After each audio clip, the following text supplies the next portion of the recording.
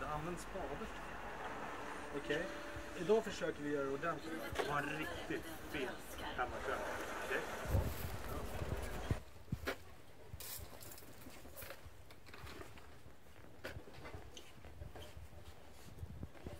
Men där är han ju. Wille, kolla vad jag hittade. Det är Cleans nya smaker. Fan Ludde, låt det där vara nu. Vi har kommit överens om att vi bara ska ha en mysig hemmakväll och käka godis. Men det är de nya smaker, vi måste testa dem. Ludde, vad ska vi kolla på för något? Det här blir ju skitbra. Det här var ju en superbra film det här.